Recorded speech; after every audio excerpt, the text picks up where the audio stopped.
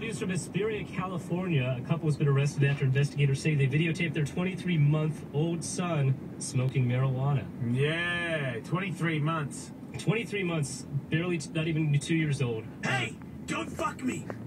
20 year old Melody Salas and 24 year old Blake Hightower uh, were apparently. The High Towers. Yes, the High Hightower and Solis. The High Towers enjoy a casual doobie from time to time. Old uh, Little High Tower enjoys a doobie. Hey, how did he roll his own doobie? A tipster uh, alerted the authorities the couple allowed the toddlers